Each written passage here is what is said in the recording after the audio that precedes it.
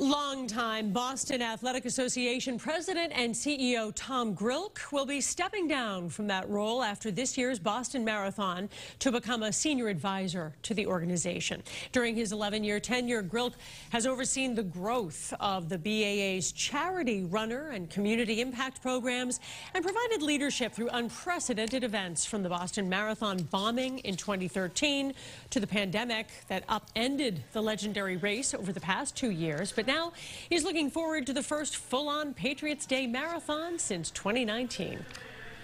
Uh, we're coming back to 30,000 people running again, uh, which brings out everybody, brings out the better part of 10,000 volunteers, brings out hundreds of thousands of spectators, brings out a great many charity runners who have now brought in more than $400 million over the years.